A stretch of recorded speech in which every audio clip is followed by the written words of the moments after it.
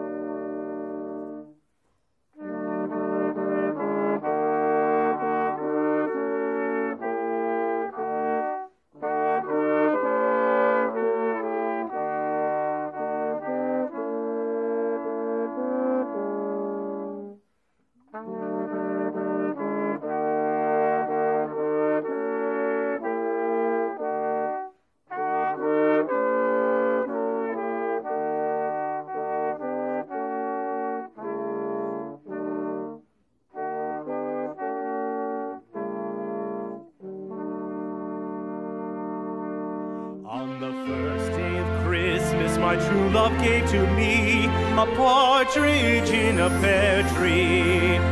On the second day of Christmas, my true love gave to me two turtle doves and a partridge in a pear tree.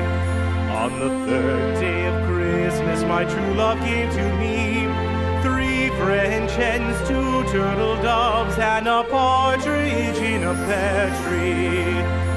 On the fourth day of Christmas, my true love gave to me four calling birds, three French hens, two turtle doves, and a partridge in a pear tree.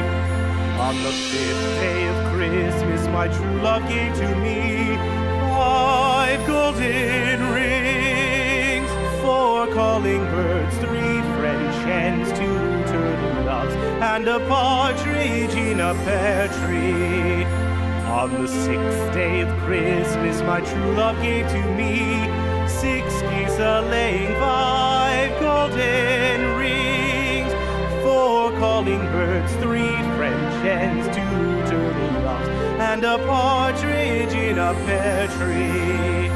On the seventh day of Christmas, my true love gave to me seven swans a singing, six geese a laying, five golden rings, four calling birds, three French hens, two turtle doves, and a partridge in a pear tree.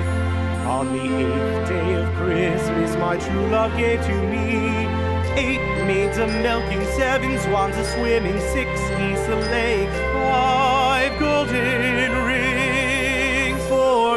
birds, three French hens, two turtle doves, and a partridge